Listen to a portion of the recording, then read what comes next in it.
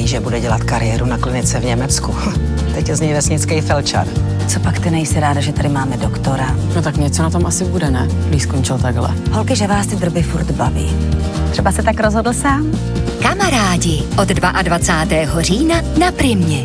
Čekala mě kariéra v Německu a nakonec ordinu tady, na vesnici. Jestli toho lituju, vlastně jsem docela rád.